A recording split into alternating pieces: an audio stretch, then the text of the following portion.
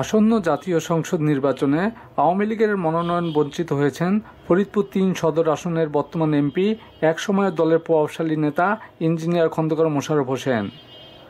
শুধু খন্দকার মোশাররফ হোসেনই নন, মনোনয়ন দেওয়া হয়নি মোশাররফ হোসেনের মেয়ের জামাতা, সিরাজগঞ্জ দুই আসনের বর্তমান এমপি ডাক্তার হাবিব মিল্লাত মুন্নাকে।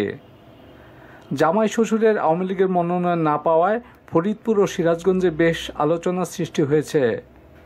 ফরিদপুর তিন সদর আসনে মনোনয়ন দেওয়া হয়েছে জেলা আওয়ামী লীগের সভাপতি শামীম হককে। আর সিরাজগঞ্জ দুই আসনে ডাক্তার হাবিব মিল্লাত মুন্নার পরিবর্তে মনোনয়ন দেওয়া হয়েছে সিরাজগঞ্জ জেলা আওয়ামী লীগের যুগ্ম সাধারণ সম্পাদক জান্নাতারা তালুকদার হেনরিকে। ফরিদপুর তিন আসনে খন্দকার মোশাররফ প্রথম নির্বাচন করেন ছিয়ানব্বই সালে। ওই নির্বাচনে তিনি পরাজিত হন। দুই হাজার এক সালের নির্বাচনেও তিনি জিততে পারেননি। পরে দুই হাজার আট সালে তিনি তৃতীয়বারের মতো আওয়ামী লীগের প্রার্থী হিসাবে নির্বাচন করে বিজয়ী হন।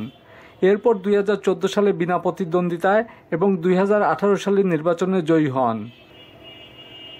দুই হাজার নয় সালে আওয়ামী লীগ সরকার গঠন করলে ইঞ্জিনিয়ার খন্দকার মোশাররফ হোসেন প্রবাসী কল্যাণ ও বৈদেশিক কর্মসংস্থান মন্ত্রী হন, পরে তিনি স্থানীয় সরকার মন্ত্রী হন। তবে দুই হাজার আঠারো সালের নির্বাচনের পর আওয়ামী লীগ সরকার গঠন করলে সেই মন্ত্রিসভায় স্থান হয়নি খন্দকার মোশাররফের শুধু মন্ত্রিসভায় স্থানই নয়, রাজনীতিতে তাকে একেবারে নিষ্ক্রিয় করে রাখা হয়।